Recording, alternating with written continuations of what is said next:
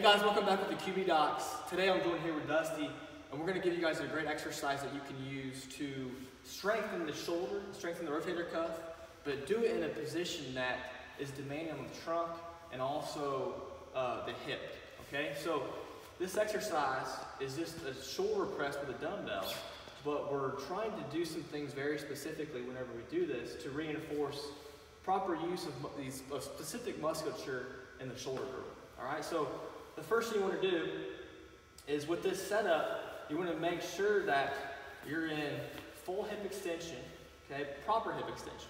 So my rib cage is down, I'm turning on my glutes, I'm pushing that big toe on my back foot into the ground and trying to reinforce this position because I never want to press from this position because we know that if we exercise in overextended positions, we're going to claim those positions whenever we throw. And if you're throwing overextended, you're throwing poorly, okay?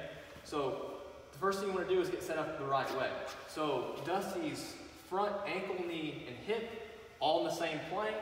His back, hip, knee, ankle all in the same plane with the rib cage down. All right, if you can't get in that position, you better go check out our videos on how to improve hip extension before you do this. Okay, so the next point of emphasis is rib cage always has to stay down. So if I have some lat stiffness, I'm going to want to overextend, which is never good. Uh, so rib cage stays down while I'm pressing overhead. All right, number three is once Dusty gets this loaded, all right, so we're going to load just like this. He's going to have it in just a resting position, a passive position here, all the way down. Good. Okay, so he's all the way down. He's trying to keep his wrist, elbow, and shoulder all in the same plane.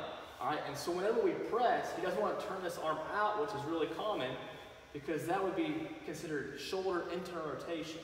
So what we're trying to do here is reinforce using these external rotators in an overhead position. Because lots of times if we if we're pressing a lot, we start to lose this capability of pressing in this plane in which we have weakness of serratus anterior, weakness of these external rotators, weakness of lower trap. All right, so we're trying to reinforce rotating that scapula up while we press. So rib cage down, my glutes are on. Dusty's trying to press the whole time with his wrist and the elbow in the same plane. He's not letting that elbow flare. That's another common compensation. He's trying to bring that shoulder blade down and forward while he keeps everything depressed. So keeping the upper trap off as well. Dusty would want to perform 10 to 12 repetitions of that, two to three times a week, to try and reinforce proper use of the, the whole shoulder girdle and not use upper trap and not use those pesky big internal rotators whenever he presses, because that's going to make you a worse quarterback.